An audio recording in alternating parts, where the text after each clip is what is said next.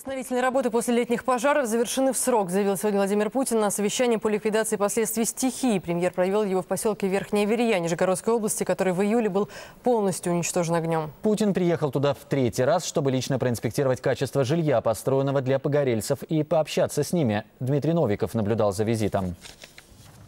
Такими ударными темпами в современной России жилье еще не возводили, не обустраивали и коммуникациям не подключали. По сути, восставшее из пепла за рекордное время село Верхняя Верия теперь наглядный пример. Нет ничего невозможного в решении жилищных проблем. И хотя местных жителей и немного смущает, что все дома и заборы одинаковые, самые пожилые сельчане отшучиваются. Когда-то и не к такому привыкать приходилось.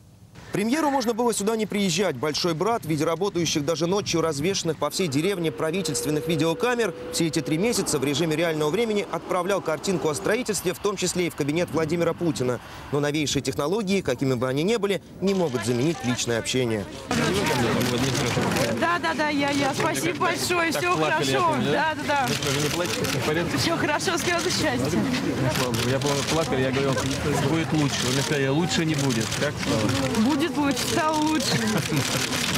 Поздравляю. Новые избы, похожие на дачные коттеджи, в основном возводили на старых местах. Правда, на этот раз с учетом противопожарных разрывов. В том числе и их отсутствие привело к полному выгоранию села в конце июля. Путин тогда приехал сюда в первый раз. Я хочу вам сказать, и, и хочу, чтобы все услышали, да? Вы слышите меня хорошо?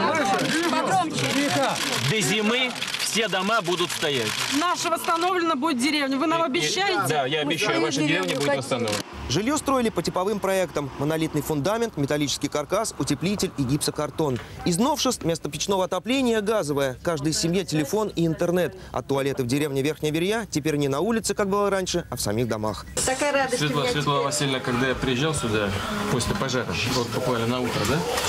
Я помню, Светлана Васильевна меня так схватила крепко. Сказала, постройте. А я Постройте, я говорю, постройте. Но вы обещаете, я вам сказал, я вам обещаю. Владимир Владимирович, вы обещали свое, выполнили. Чтобы картина была полной, здесь же в Верхней Верее премьеру вывели на мониторы видеоизображения из других сел и деревень, возрожденных после летних пожаров. Всего в 15 регионах в рекордные сроки было построено около 2000 домов, в том числе многоквартирных. Путин, похвалив строителей за отличную работу, пожелав новоселам жить, поживать да добра наживать, выразил свою благодарность всем гражданам России, фирмам и компаниям, безвозмездно помогавшим погорельцам. Отдельно премьер остановился на роли федерального центра. государство не оставляет в беде и один на один с бедой тех, кто с ней столкнулся.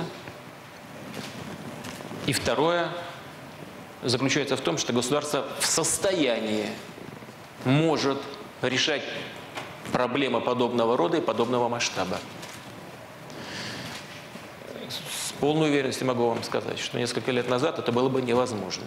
Погорельцы, получившие в свою собственность новое жилье, говорили премьеру о наболевшем. Есть еще вопросы с регистрацией, оформлением наследства и пропиской. У многих жителей деревень не были оформлены дома и приусадебные участки, а у некоторых сгорели документы, доказывающие право владения. Всем этим в настоящее время занимаются местные власти. Дмитрий Новиков, Владимир Давгаль и Юрий Абрамов. НТВ. Верхняя Верия. Нижегородская область.